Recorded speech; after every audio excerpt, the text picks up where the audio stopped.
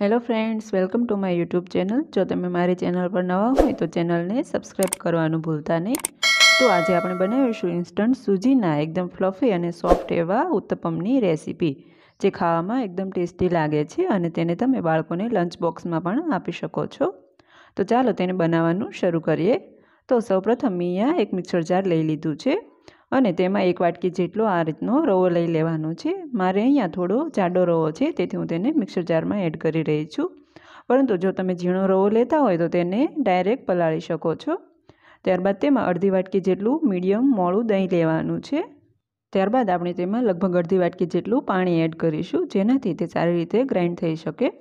હવે મિક્સર જારનું ઢાંકણ બંધ કરીને આપણે તેને બેથી ત્રણ મિનિટ માટે ગ્રાઇન્ડ કરી લેવાનું છે.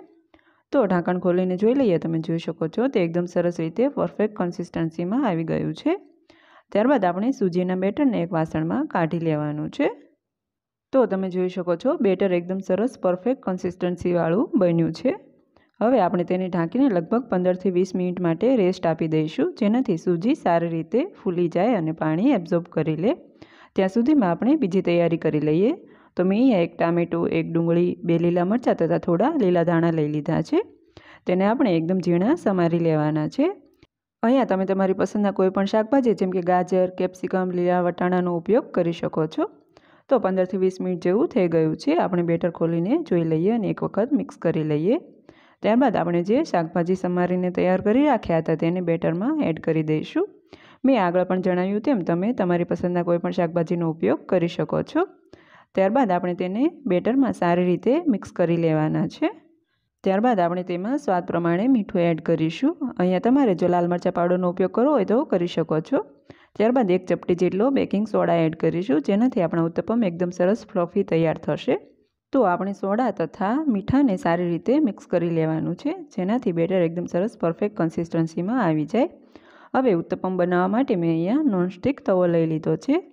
તેલ ગરમ થાય એટલે આ રીતના ઉપર થોડું તેલ લગાવીશું, જેનાથી આપણા ઉત્તપમ એકદમ સરસ રીતે ઉખડી શકે. તો તેલ લગાવી દીધા બાદ આપણે જે બેટર રેડી કર્યું હતું તેમાંથી આ રીતના એક ચમચા જેટલું બેટર લઈશું અને તેને સારી રીતે સ્પ્રેડ કરી લેવાનું છે. અહીંયા તમારે જેટલી સાઇઝના ઉત્તપમ બનાવ હોય તે પ્રમાણે બેટરનો ઉપયોગ કરવાનો છે. તો તમે જોઈ શકો છો, મેં અહીંયા ચમચાની મદદથી ઉત્તપમનું બેટર સારી રીતે સ્પ્રેડ કરી લીધું છે. ત્યારબાદ ઉત્તપમની આ રીતના ઉપર પણ આપણે થોડું તેલ લગાવી દઈશું, જેનાથી તે બીજી સાઈડે પણ સારી રીતે શેકાઈ શકે. અને હવે આપણે જે ડુંગળી ટામેટાં કટ કરીને રાખ્યા હતા, તેમાંથી મેં થોડા સાઈડમાં કાઢી લીધા હતા. તે આ રીતના ઉપરથી લગાવી દઈશું અને તેને તવીથાની મદદથી સારી રીતના પ્રેસ કરી લઈશું. જેનાથી તે ઉખડે નહીં. આ પ્રોસેસ બિલકુલ ઓપ્શનલ છે, પરંતુ આ રીતના ઉપરથી ડુંગળી ટામેટાં તથા મરચાં લગાવવાથી તે એકદમ ટેસ્ટી લાગે છે. લગભગ એકથી બે મિનિટમાં ઉત્તપમ ઉપરથી થોડું ડ્રાય થાય ત્યારબાદ આપણે તેને બીજી સાઈડે પલટાવી લઈશું અને આ રીતના તવીથાની મદદથી પ્રેસ કરી લઈશું. આપણે ઉત્તપમને મીડિયમ ગેસની ફ્લેમ પર કૂક કરવાના છે. તો બીજી સાઈડે પણ સારી રીતે શેકાઈ ગયું છે તો આપણે તેને પલટાવી લઈશું. તમે જોઈ શકો છો આપણું ઉત્તપમ બંને બાજુ સારી રીતે શેકાઈ ગયું છે.